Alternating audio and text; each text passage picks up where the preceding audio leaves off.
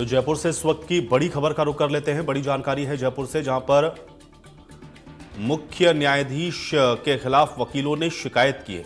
इसमें राष्ट्रपति और सीजेआई को एक लेटर लिखा है। हाईकोर्ट के स्नेह मिलन समारोह का बहिष्कार किया गया है। और हाईकोर्ट बार एसोसिएशन जयपुर ने प्रस्ताव भी पारित किया है। तो ये बड़ी और अहम जानकारी आप तक पहुँचा रहे हैं। ये इस वक्त की बड़ी खबर है जयपुर से, जहाँ पर मुख्य न्यायाधीश के खिलाफ वकीलों ने शिकायत की है। राष्ट्रपति और सीजेआई को लेटर लिखा है। हाईकोर्ट ने स्नेह मिलन समारोह का भी बहिष्कार कर दिया है और हाईकोर्ट बार एसोसिएशन जयपुर ने एक प्रस्ताव भी पारित किया है। तो ये बड़ी खबर है। हालाँकि हाईकोर्ट बार एसोसिएशन जयपुर ने मुख्य न्यायाधीश एम एम श्रीवास्तव की कार्यप्रणाली पर सवाल खड़े किए हैं और इसके संबंध में बार एसोसिएशन ने राष्ट्रपति Droupadi Murmu, chief justice of India यानी कि सीजेआई, डीवाई चंद्रचूड़, प्रधानमंत्री नरेंद्र मोदी, केंद्रीय कानून मंत्री अर्जुन राम मेघवाल को एक शिकायती पत्र लिखा है। इसके साथ ही बार ने हाईकोर्ट प्रशासन की ओर से आयोजित दीपावली स्नेह मिलन समारोह का बहिष्कार कर दिया है। दरअसल आज हाईकोर्ट में दीपावली से पहले अंतिम कार्य दिवस था। अब हाईकोर्ट 4 नवंबर को ही रूटीन सुनवाई करेगा। अब ऐसे में परंपरा के अनुसार दीपावली से पहले अंतिम कार्य दिवस पर आयोजित स्नेह मिलन समारोह में बार और बेंच मिलकर के भाग लेते आए हैं।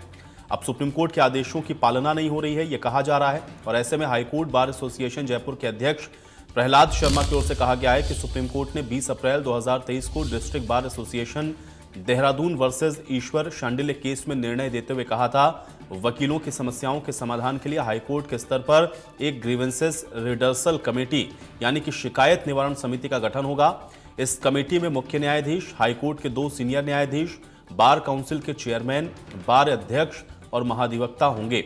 हाईकोर्ट ने सुप्रीम कोर्ट को निर्देश पर 16 जनवरी 2024 को एक कमेटी का गठन भी किया था, लेकिन आज तक इस कमेटी में एक भी बैठक नहीं हुई, जबकि हाईकोर्ट बार अपनी अलग अलग समस्याओं को लेकर के मुख्य न्यायाधीश को नौ रिप्रेजेंटेशन दे चुका है। आज तक हमारी समस्याओं की ओर ध्यान नहीं दिया गया है, इस बात को भी कहा गया। अब वकील क्या मांग कर रहे हैं, ये भी बताते हैं आपको। देखिए, शिकायत निवारण समिति की नियमित बैठक की जाए, ये डिमांड है वकीलों की। हाईकोर्ट की जो रोस्टर प्रणाली है, उसमें सुधार किया जाए। इसमें कॉजलिस्ट को रेगुलेट करें और अर्जेंट नेचर के केसेस को प्राथमिकता दें। इसमें बार के सुझाव को भी शामिल करें। इसके अलावा फ़िज़िकल फिटिकल और वीसी के ज़रिए हाईकोर्ट हाइब्रिड मोड में चले। वीसी के लिए इंफ्रास्ट्रक्चर को भी डेवलप किया जाए, क्योंकि अभी तक अधिकांश अदालतों में ये सुविधा नहीं है। जहाँ वीसी की सुविधा है, वहाँ कनेक्टिविटी का इशू इसको दुरुस्त करें और जमानत याचिकाओं के लिए स्पेशल बेंच गठित करने की मांग की गई है। ये भी वकीलों की डिमांड है।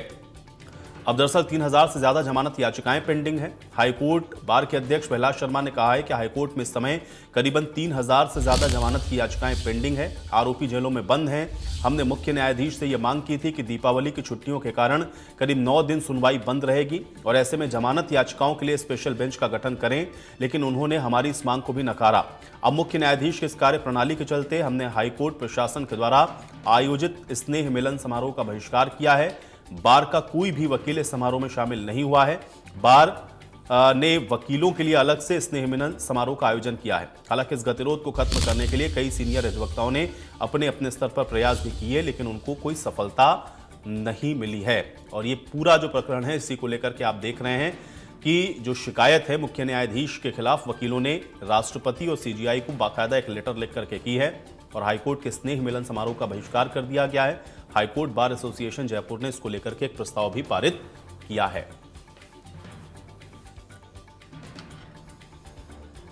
तो ये बड़ी खबर है जयपुर से, जहाँ पर मुख्य न्यायाधीश के खिलाफ वकीलों ने शिकायत की है। सीजीआई को एक लेटर लिखा है, हाईकोर्ट ने स्नेह मिलन समारोह का बहिष्कार किया है और हाईकोर्ट बार एसोसिएशन जयपुर ने इसको लेकर के बाकायदा एक प्रस्ताव है जिसको पारित कर दिया है। अब वकील देखिए, विरोध कर रहे हैं, मांग वकीलों की ये है कि जो शिकायत निवारण समिति है, उसकी नियमित बैठकें हों हाईकोर्ट की रोस्टर प्रणाली, उसमें सुधार हो, कॉज लिस्ट को रेगुलेट करें अर्जेंट नेचर के केसेस को प्राथमिकता दें और इसमें बार का जो सुझाव है उसको भी शामिल करें।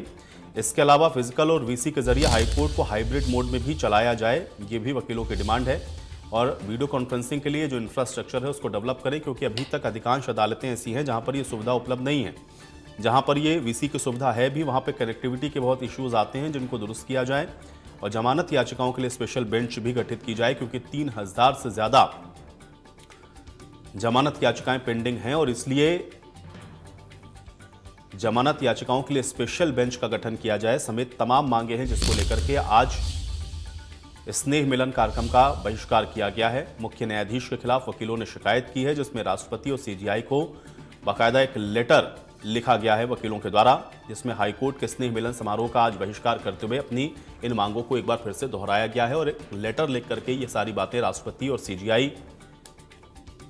को बताई गई है। तो राष्ट्रपति और सीजीआई को यह लेटर लिखा गया है। हाईकोर्ट के स्नेह मिलन समारोह का बहिष्कार किया गया है और बार एसोसिएशन जयपुर ने इसको लेकर के एक प्रस्ताव भी पारित किया है कि बड़ी खबर और बड़ी जानकारी जयपुर से आप तक पहुँचा रहे हैं, जहाँ पर मुख्य न्यायाधीश एम एम श्रीवास्तव की कार्य प्रणाली पर नाराज़ हैं वकील, उस पर सवाल खड़े कर रहे हैं। बार एसोसिएशन ने राष्ट्रपति Droupadi Murmu, chief justice of India, प्रधानमंत्री नरेंद्र मोदी, केंद्रीय कानून मंत्री, इन सबको शिकायती पत्र लिखा है।